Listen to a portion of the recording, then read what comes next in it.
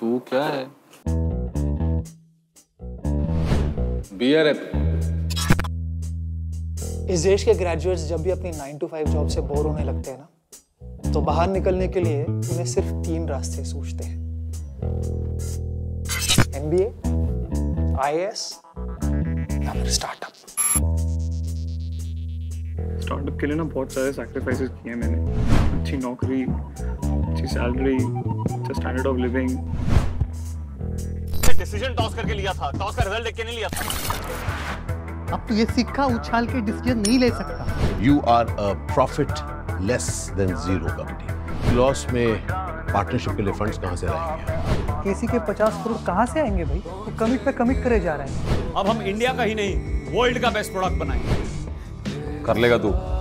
We trust you जहाँ struggle नहीं वहाँ प्रगति नहीं।